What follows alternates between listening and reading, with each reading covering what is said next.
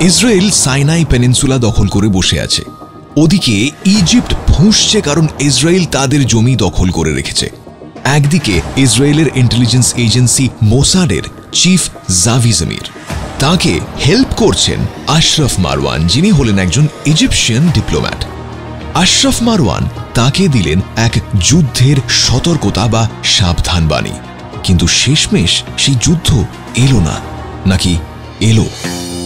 বিশদে জানতে শুনতে হবে স্পাই স্টোরিজ উইথ সৃজনের নতুন এপিসোড অনলি অন ডাব্লিউ